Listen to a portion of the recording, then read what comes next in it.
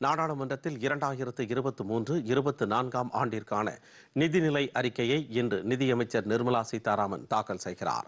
நாடாளுமன்றத்தில் பட்ஜெட் தொடர்கூட்டம் நேற்று குடியரசுத் தலைவர் உரையுடன் தொடங்கியது.